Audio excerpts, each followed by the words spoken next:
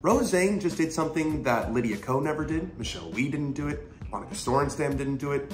Neither could Tiger Woods or Jack Nicklaus. She won her professional debut. It was just two weeks ago that Rose Zhang won her second consecutive NCAA individual title with Stanford. It capped off maybe the best amateur career since Tiger Woods. She won everything there is to win in amateur golf. She won the US Junior, she won the US Amateur, she won the Augusta National Women's Amateur. She was the world number one amateur for three straight years. She became the first woman to win the NCAA individual title twice, and she did back-to-back -back years.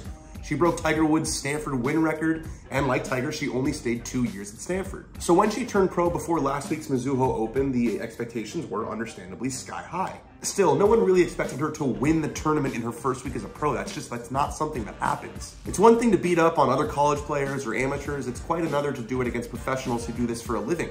And this wasn't some mini tour event. Seven of the top 10 players in the world were in the field. And she beat them all, including winning a playoff